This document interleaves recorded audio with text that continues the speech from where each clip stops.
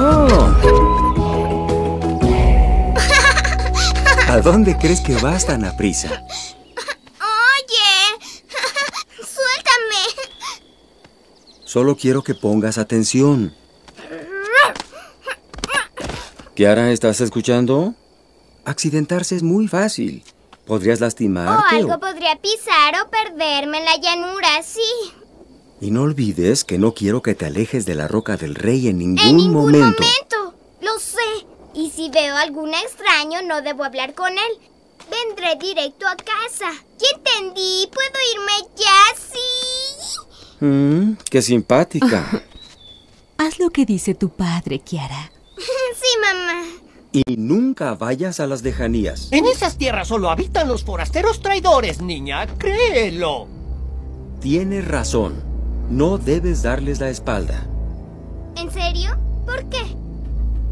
Olvídalo. Solo ve a jugar.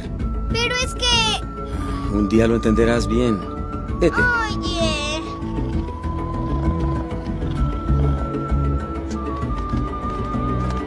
Y no te alejes del camino que te he indicado. Simba, ¿ya olvidaste quién era así? ¿Eh? ¿Qué? ¿Quién? Kiara es igual a ti cuando eras cachorro. Exacto. Estuvimos en peligro en muchas ocasiones.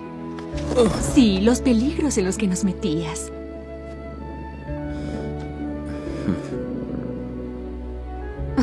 Estará bien.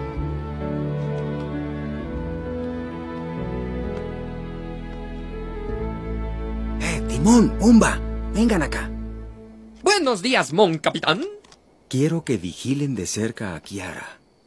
Le gusta mucho arriesgarse. No te preocupes, la seguiremos como el mal olor a un cerdo. Oye, Es la dura realidad, Pumba, acéptalo. Chicos, confío en ustedes. El peligro puede estar bajo cualquier roca. Ajá.